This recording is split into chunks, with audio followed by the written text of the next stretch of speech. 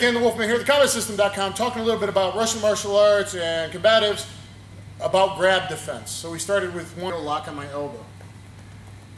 Now, number one, my head's free, my teeth are free, my legs are free. So they don't own that. They think they own my arms, but they don't own that either. He owns my elbow joint pretty good, but look at my shoulder. He doesn't own my shoulder joint. Okay? So even though I can roll my elbow a little bit, even though he's kind of locking me and hurting my elbow, I'm kind of in an armbar here. My shoulder joint isn't isolated, so I can move this. Now when I move this, that can lead me to him. And now he's already down, he's already down, and then he's already down too. Now who's got here? Okay? So even, I mean, I mean, they took a second to figure out how to grab me pretty good. So grab a different way on my arms, guys, so I can kind of show about isolation. Grab it differently. Okay. Okay, so here I am. We're both kind of doing the same thing, like a crucifix double arm right here. Okay. Now, as you see, he's got my wrist and my elbow joint, but he doesn't have my shoulder again. So I probably start working against him again first. He has my shoulder and my wrist, but not my elbow. So I'm really going to learn body dynamics both. I'll work shoulder and elbow. And I don't know what I'm going to do, but I'm just going to them against each other. Now I'm using no energy. Imagine if I actually threw some real power and breathing in there. I'm just trying to explain some of this so you guys understand. Um, and, and this started with a two-handed grab here. It's like, well, you don't have my head, you don't have my legs. So I could do some cool keto type thing, and then my head, and then my knee, I can just work against his joints. I can do whatever. I can just come outside fast and hit.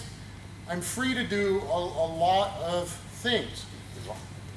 Even if, um, uh, oh, it's two-handed grab on one wrist. Okay, so if I wrestle and I'm static, if he was a bigger guy, he's going to win. Come in here, Steve.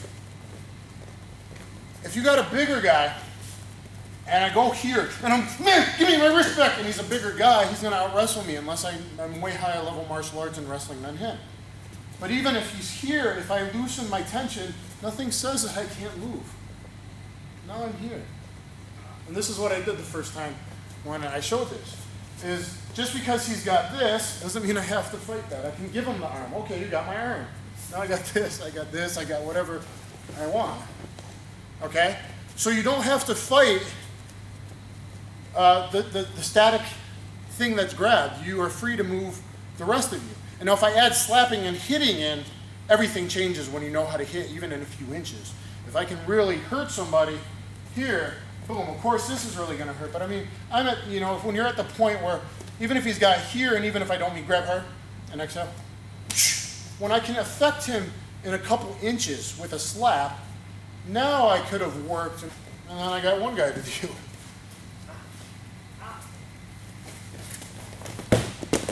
Okay? So just slowly you see how that is. I have no idea what I just did, but I just worked. And if it was fast, I would be working and giving them a more tornado of violence. Okay? Um, so what did I do? Guys, can you come in the same way? I think I used my knee. Okay, so I think I just bumped him.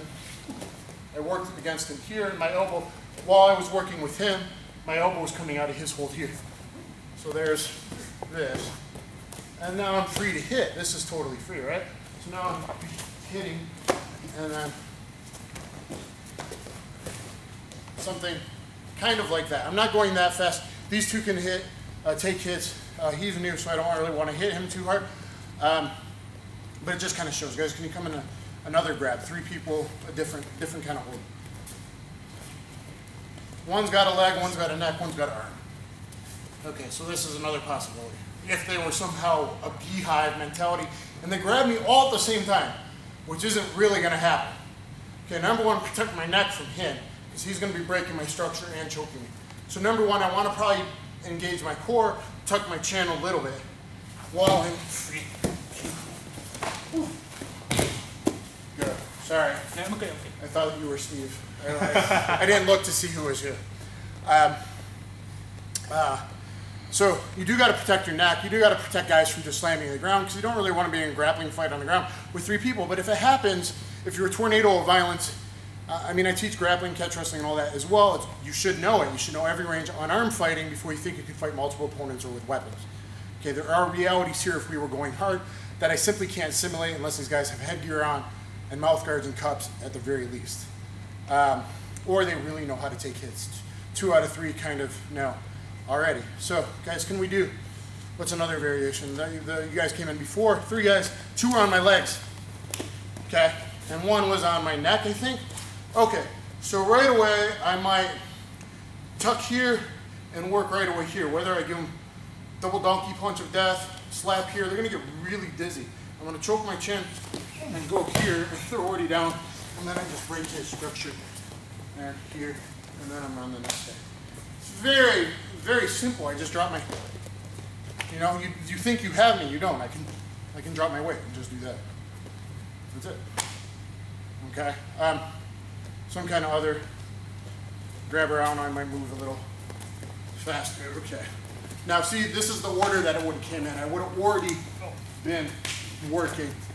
See, I would have already been working when the first guy grabbed me. They're really not going to be able to grab you in unison. He might be grabbing me, and he might be hitting me. I mean, that's that's more the reality of it. Are you okay getting beat up a little bit? Okay. Yeah, I'll put this in. Um, guys, just, just stick to the grabbing, but I'll, I'll, I'll hit you. Come in and grab. I'll let you get a hold first. Heavy. I broke Steve's structure. Steve's heavy ass fell on the other two. Combined mass. Uh, kind of another theory, I guess we could call that combined mass. Uh, can we do that again? Where were you guys?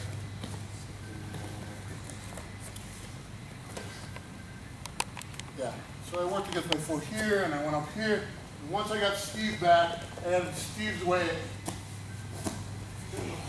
And I started to on but by this time he didn't get fell. Oh, there he is. So whatever. Okay. And guys, come in one more time. I'm going to work a little faster. Go ahead, grab. Unfortunately, you don't have the cup on, but I would have been working there. His eyes, his chin are exposed. Might work against Steve this way.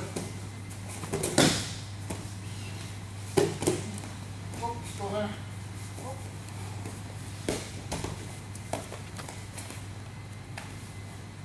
Out.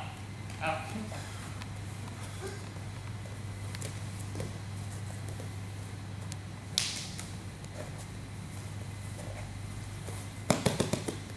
Yeah and just structure around his lower back. So, give my student a massage. Anyway, guys, that's how you work against multiple people. Is what you think you're static, but you're not. Move, be a tornado of violence, add your weight against each other, jump down, compress, move. It's all about uh, the loose spaghetti noodle movement. Hope you enjoyed it. Please subscribe. Thanks.